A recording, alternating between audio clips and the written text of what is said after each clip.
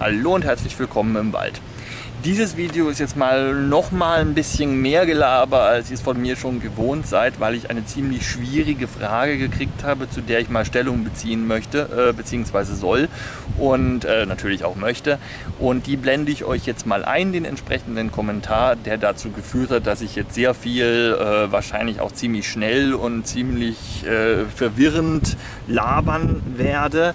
Ähm, das Ganze ist ein ziemliches Hardcore-Thema und geht sehr, sehr weit ins Detail und ich werde auch ein bisschen Wissen voraussetzen müssen teilweise, äh, dass ihr unter Umständen nicht habt. Es kann also sein, dass ihr irgendwann nicht mehr mitkommt und ähm, ich wollte euch nur vorher schon mal gewarnt haben, dass das jetzt ein ziemliches Hardcore-Video ist und das ist sicherlich nicht für jedermann äh, unbedingt was, was man jetzt wirklich sich über die gesamte Länge angucken will und ich bin da auch niemandem böse, äh, wenn das die entsprechenden Leute, die das eben auch nicht wollen, dann natürlich logischerweise auch nicht tun. Also das wollte ich nur mal vorweg gesagt haben, dass sich dann hinterher keiner wundert oder sich beschwert, dass ich niemanden, äh, ihn oder sie ähm, nicht gewarnt hätte. Okay, es geht um die Frage, inwiefern denn äh, Gleise im Wald, also Flurschäden, wirklich massive Bodenverwundungen äh, noch mit nachhaltiger Forstwirtschaft vereinbar sind so kann man, glaube ich, einigermaßen äh, die Frage, die im Raum steht, zusammenfassen. Und das möchte ich jetzt einfach mal ein bisschen erläutern, wie es zu sowas kommt und was daran schuld ist, dass es eben zu sowas kommt. Äh, einen Lösungsansatz gibt es übrigens nicht. Da kann ich nicht wirklich mit dienen, weil wenn ich das wüsste, wie man das Problem komplett umgehen könnte, dann würde ich nicht hier rumhocken, und, äh, sondern wäre in irgendeinem Büro mit einem riesigen Schreibtisch und einer großen tollen Bücherwand hinter mir äh, an irgendeiner Universität tätig.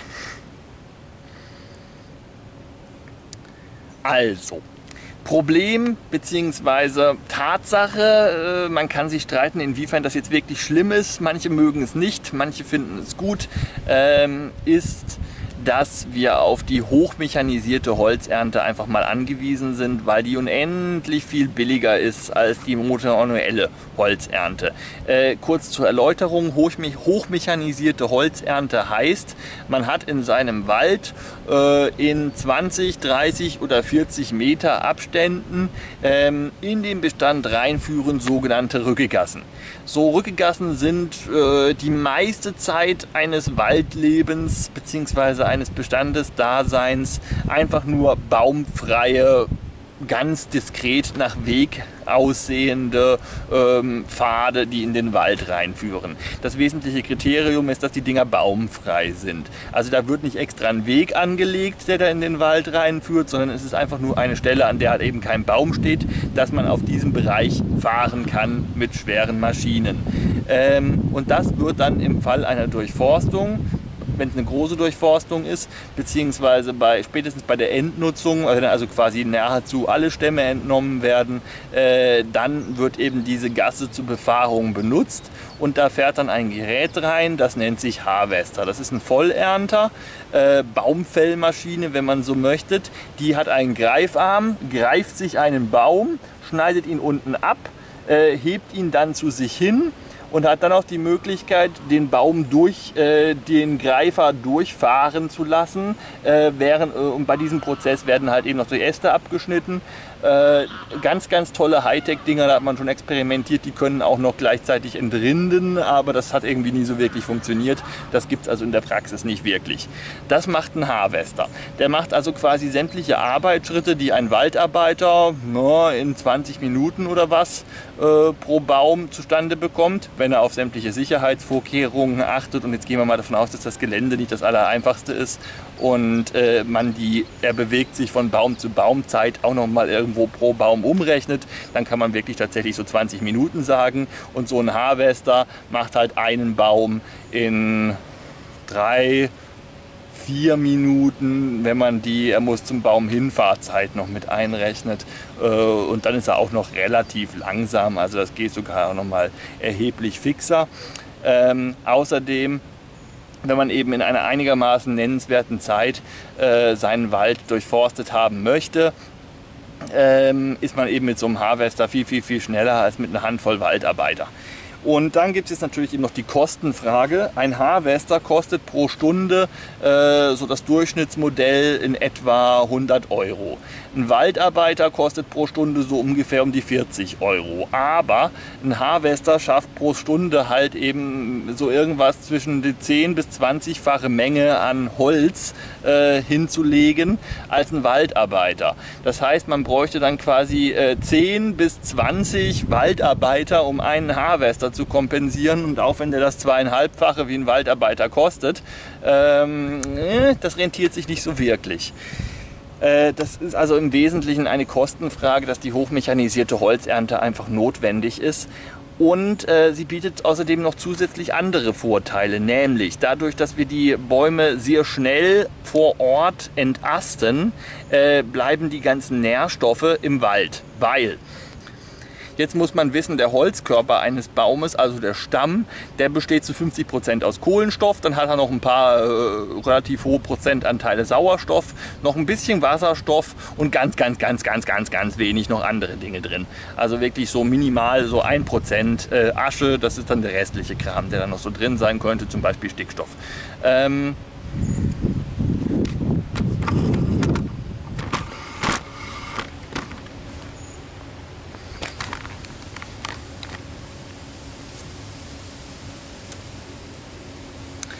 Kohlenstoff ja aus der Photosynthese gewonnen werden kann, ist es nun mal nicht besonders schwierig, als Baum an Foto äh, Kohlenstoff dran zu kommen. Sauerstoff gibt es in der Atmosphäre, Wasserstoff ebenfalls. Das ist also alles überhaupt kein Problem. Und das sind alles Dinge, die man aus dem Wald entfernen kann, indem man eben den Holzkörper erntet, ohne dem Stoffhaushalt des Waldes nennenswerten Schaden anzutun. Äh, denn das kann ja alles ohne weiteres durch den nächsten Baum, der da wächst, ersetzt werden. Wenn man jetzt aber die Äste und die Zweige und die Blätter bzw. Nadeln, wobei Nadeln sind ja auch Blätter, ne, mit entnimmt,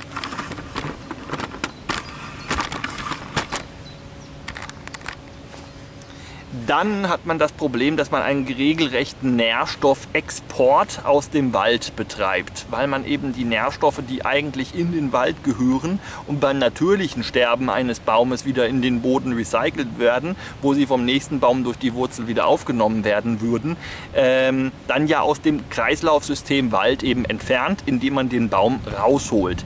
Und da ist es tatsächlich so, dass der Harvester, der vor Ort äh, den Baum, oder zumindest mehr oder weniger vor Ort, Ort den Baum entastet, ähm, die Nährstoffe fast an der gleichen Stelle liegen lässt, an der der Baum ursprünglich mal gestanden hat. Das heißt, die Nährstoffe bleiben im Wald. Da ist der Harvester also sehr gut.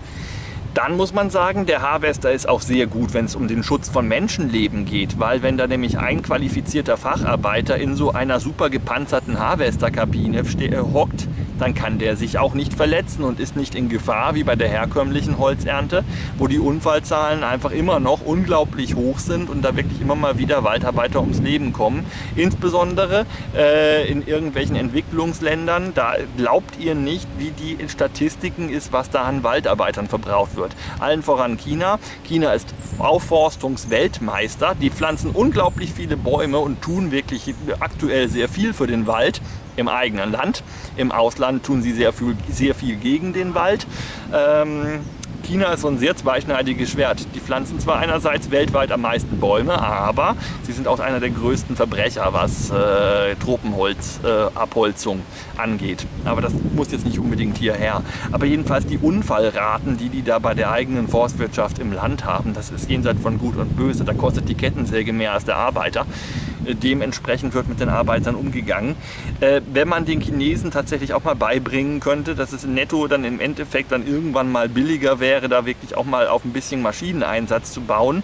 Nicht, dass ich das jetzt gut finde, aber äh, rein äh, arbeitssicherheitstechnisch gesehen wäre das also bei den Chinesen aus diesem Grunde tatsächlich auch sinnvoll. Kostentechnisch ist es aktuell bei denen dann noch teurer, weil die Arbeiter einfach nichts kosten.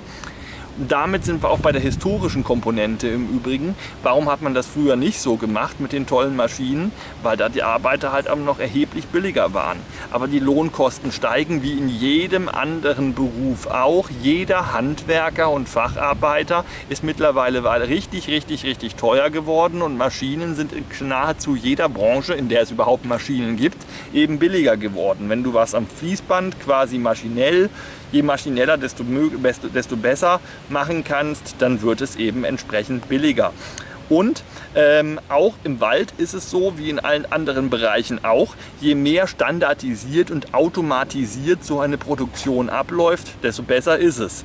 Und wenn man da halt eben schon mal eine automatisierte, standardisierte Maschine im Einsatz hat, da bringt man schon mal ein gewisses Maß an Standardisiertheit äh, in ein überhaupt nicht standardisiertes System, das sich dann Wald nennt. Wobei man sagen muss, so ein Harvester ist ausgelegt für gleichaltrige, gleichförmige Bestände mit nach Möglichkeit nur ein oder maximal zwei unterschiedlichen Baumarten. Also so den typischen Nadelholzacker. Das ist so ein perfekt mit dem Harvester zu beerntender Bestand. Und da funktioniert das dann auch wunderbar gut. Und äh, man hat Holzerntekosten von na, im Idealfall 12 Euro pro Festmeter. Ähm, ein Festmeter, ich habe es irgendwo schon mal erwähnt, das ist ein Würfel Holz, also ein gedankliches Konstrukt von einem Würfel Holz mit einem Meter Kantenlänge. Äh, natürlich ernten wir nicht wirklich Würfel von einem Meter Kantenlänge im Wald, aber man rechnet es dann halt eben um auf dieses Volumen. Ein Kubikmeter Holz ist ein Festmeter. Äh, der Förster spricht da in der Regel von Erntefestmetern. Das soll heißen, das ist das, was letztendlich verkauft wird äh, und nicht das, was im Wald steht. Ähm, Vorratsfestmeter ist das, was im Wald Wald steht und da zieht man dann nochmal so circa 20 Prozent, genau genommen 19, ab, um auf den Erntefestmeter zu kommen, weil man lässt ja die Rinde plus ein Stückchen von der Krone plus äh, den Stammfuß im Wald stehen und damit ist halt eben das, was man dann letztendlich nur aus dem Wald entnimmt, 20 Prozent weniger im Durchschnitt ähm, als das, was da mal ursprünglich gestanden ist. Naja, das muss jetzt eher nicht unbedingt so wichtig sein. Wichtig ist jedenfalls, dass der Erntefestmeter Holzerntekosten, wohlgemerkt mit dem Harvester im Idealfall bei 12, 13 Euro liegt. Äh, wenn du das gleiche mit dem Waldarbeiter machst, der dann relativ umständlich ähm, das Ding dann auch noch wieder aus dem Wald rausholen muss, äh, wird das noch erheblich teurer und da hat man locker Holzerntekosten von 30 Euro pro Erntefestmeter allein auch schon durch die geringere Geschwindigkeit, mit der der einfach Erntefestmeter produziert, der liebe Waldarbeiter oder halt eben mehrere von denen. Dann werden sie aber halt auch schnell eben wieder entsprechend teuer. Ähm, nächster Schritt bei der Hochmotor... Nächster Schritt bei der hochmotorisierten Holzernte ähm, ist dann das Rücken. Das ist natürlich auch bei der nicht hochmotorisierten, äh, hochtechnologisierten Holzernte ähm, auch das Problem, dass man das Holz, nachdem man den Baum gefällt hat und ihn aufbereitet hat, sprich die Äste abgeschnitten hat, ihn möglicherweise auch noch in handliche Stücke zerlegt hat, je nachdem welches Sortiment man haben möchte. Manchmal werden sie klein geschnitten, manchmal nicht. Das hängt auch davon ab, was der Kunde, also das Sägewerk in der Regel, ähm, haben möchte. Dieses Holz muss ja irgendwie irgendwie an die Waldstraße, wo es dann vom Holz-LKW aufgeladen und dann abgefahren werden kann ins Sägewerk eben. Teilweise wird es noch zwischengelagert auf Holzlagerplätzen, das ist aber eher die Ausnahme. Normalerweise kommt es direkt vom Wald auf die Waldstraße und dann ins Sägewerk. Und ähm, der Prozess, das Holz dann eben an die Waldstraße zu bekommen, kann unendlich umständlich sein. Unter anderem dadurch, und das war früher auch noch anders, weshalb das früher einfach so gesehen wirklich viel einfacher war. Ähm, man hat ja früher noch Kahlschlag gemacht. Das heißt, man hatte dann quasi immer reihenweise von dem Weg ausgehend die Bäume einfach reihenweise platt gemacht, an die Straße gezerrt, schön hingelegt, dann waren die nicht mehr im Weg, dann konnte man die nächste Reihe platt machen, an die Straße zerren, schön hinlegen, dann waren sie nicht mehr im Weg und immer so weiter. Jetzt entnehmen wir aber nur den Baum, den Baum und vielleicht den Baum und lassen den Rest stehen. Jetzt haben wir aber natürlich alle Bäume, die dann noch da stehen, einfach im Weg und können die Bäume nicht einfach zur Straße zerren, weil da möglicherweise 17 andere Bäume im Weg sind. Das macht das Rücken heutzutage durch die ähm, schönere Form des Waldbewirtschaftens, was erstens besser aussieht, zweitens ertragreicher ist und C für die Ökologie erheblich besser ist, äh, macht aber die Holzernte technisch enorm anspruchsvoll. Heißt, wir können das Zeug nicht einfach da rausziehen und eine andere Möglichkeit, um riesige Stämme zu transportieren, hat ein normaler Waldarbeiter eben nicht. Rausziehen meint übrigens, du gehst mit einer großen Kette hin, hängst die Kette an den Stamm und ziehst den Stamm dann an dieser Kette, die an einer Seilwinde, an einem unter Umständen ganz normalen Traktor äh, hängt, eben einfach bis zur Straße und durch den Traktor, der zieht den Traktor der Traktor zieht den Stamm ganz nah zu sich ran, hat dann da möglicherweise noch so eine Art Schaufel, wo er den dann so leicht aufladen kann und kann den dann einfach äh, hinter sich herziehen und dann so relativ gut neben dem Waldweg äh, ähm, ablegen. Das funktioniert theoretisch schon sehr gut, das funktioniert auch praktisch sehr gut, aber das dauert eben einfach seine Zeit. Da geht ein Stamm, wenn der entsprechend weit aus dem Wald rausgezogen muss, dauert dann halt gerne mal 10 Minuten, bis der dann da ist, wo er hin soll. Die Alternative, hochmechanisierte Holzernte, ähm, ist, es fährt dem Harvester ein zweites tolles Gerät hinterher, nämlich der sogenannte Forwarder. Ähm, der sieht ganz ähnlich aus, nur dass der halt eben nur einen Greifarm hat und nicht so ein Sägeaggregat mit Säge dran, mit Messer dran und so weiter und so fort. Und ähm, er hat stattdessen dafür einen Korb auf dem Rücken sozusagen, in dem er eben äh, mit so Kneifzangen Stämme deponieren kann. Und der kommt dann einfach hin, schnappt sich so einen Stamm, den der Harvester vorher geerntet hat, legt den sich auf den Rücken, schnappt sich den nächsten, legt den sich auf den Rücken, schnappt sich den nächsten, legt den auf den Rücken. Hat den Vorteil, keiner muss mehr irgendwelche Stämme mitten durch den Wald schleifen, weil das Schleifen über den Boden erzeugt natürlich auch Schäden am Boden. Die sind zwar nicht so auffällig und nach ein paar Jahren sieht man die auch mit bloßem Auge nicht mehr. Also sie sind trotzdem da und reißen eben das Boden, das System Boden auf, das äh, darauf basiert, dass es verschiedene Schichten hat. Und wenn man diese Schichten durcheinander bringt, dann pflügt man quasi. Das ist auf einem Acker gut, hat im Wald aber zur Folge, dass dann viele waldtypische Prozesse nicht mehr in dem Maß funktionieren, wie eben, eben im Ökosystem Wald das funktionieren sollte, worauf das Ökosystem Wald auch irgendwo angewiesen ist. Also großflächige Bodenverwundungen sorgen für enorme Schäden. Äh, und das wird halt eben tatsächlich dann vermieden, indem man auch wieder da ein schweres technisches Gerät auf dieser Gasse fahren lässt. Die Rückegasse. Gut, und die Rückegasse ist jetzt der Dreh- und Angelpunkt und Knackpunkt des Geschehens. Denn in der Theorie, wenn alles richtig gemacht wird, macht man das nämlich so, dass man von der Waldstraße aus erstmal ein paar Bäume mit dem Harvester rausgreift und der Harvester das ganze äh, Material, was er dann am Baum abschneidet, also sprich die Ästzweige und das Laub, ähm, auf die Rückegasse schmeißt als Polstermaterial und er dann quasi, nachdem er ein paar Bäume sich da eben zurechtgeholt hat und das Ganze da dahingeschmissen hat, auf der Rückegasse drauf äh, ein schönes Polster hat, einen wirklich gut gepolsterten Weg, auf dem er fahren kann, ohne eben Schäden am Boden anzurichten.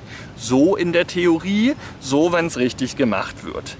Ähm, in der Praxis ist das halt eben so eine Trade-off-Situation. Wenn man sich das ganze Material eben auf die Rückengasse schmeißt, dann hat man nicht mehr den Vorteil, äh, dass man das Material dahin schmeißen kann, wo man den Baum gefällt hat. Also es findet dann doch wieder ein gewisser Nährstoffexport statt, beziehungsweise mehr eine Nährstoffverschiebung, wenn man so möchte, hin zur Rückegasse. Wir haben also im Wald quasi in den Rücke, an den Rückegassen beziehungsweise auf den Rückegassen ein riesiges Nährstoffdepot wo alle Bäume quasi versuchen müssen, zur Rückegasse zu kommen, um sie ihre Nährstoffe zu holen, äh, während man zwischen den einzelnen Rückegassen dann eben kaum Nährstoffe hat, weil sie da dann dauernd weggenommen werden bei der Holzernte, um auf die Rückegasse sozusagen geworfen zu werden äh, hat den Vorteil, die Rückengasse geht nicht kaputt und wir kriegen eben nicht diese Rillen im Boden durch die Befahrung der besagten Rückengasse, hat eben halt eben den Nachteil mit dem teilweise Nährstoffexport. Es gibt da leider keine eierlegende Wollmilchsau, einen Tod muss man sterben sozusagen. Wenn man jetzt das nicht macht oder halt eben nur wenig Material da drauf schmeißt und noch einiges im Wald äh, liegen lässt, also so quasi so einen Mittelweg macht, noch ein bisschen Material auf der Rückegasse, ein bisschen im Bestand liegen lassen, ähm, kann das natürlich auch ganz gut funktionieren und in der Regel und das ist jetzt wieder so ein Unterschied zwischen Theorie und Praxis und zwischen äh, nach Lehrbuch alles richtig gemacht und möglicherweise Stümper am Werk.